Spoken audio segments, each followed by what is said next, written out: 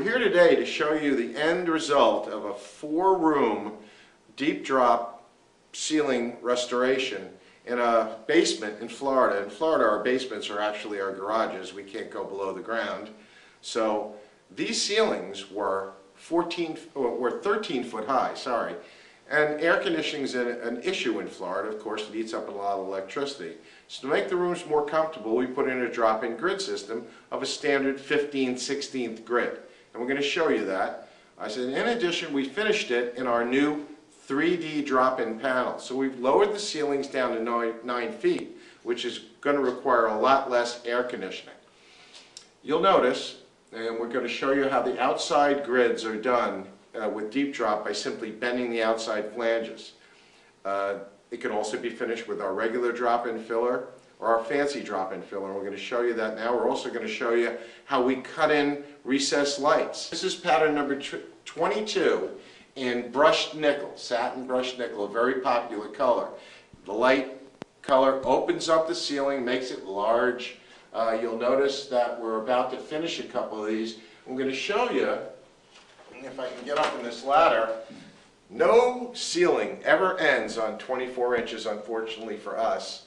So the outside grids of, of a drop-in ceiling are always going to be irregular.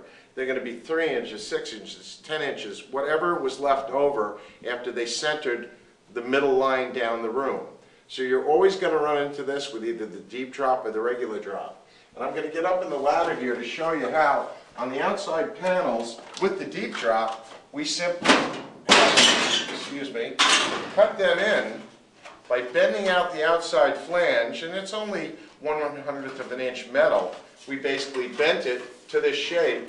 Uh, this is a standard 23, 23 inch opening, and this is about eight and a half inches. So there's our, our panel that we've, we've hand bent with crimpers, and we're going to show you that. And basically, in the end, it's going to drop right in, like I just had it. Bear with me one second while I basically we put it back in here. The rough cut side is to the outside, and I doubt very much if anybody's going to come into your drop-in ceiling and look up there and see if it's not perfect, but the outside edge is perfect. Even small pieces like this one back here, which is only an 8 by 8 section, can be cut out of a whole 24 inch pattern. As long as this outside grid is no more than uh, 11 inches, you can basically get two of these outside panels out of each one of our 24-inch uh, uh, pans. So ends up uh, cutting down on the cost. Uh, the Design Center could help in this type of layout.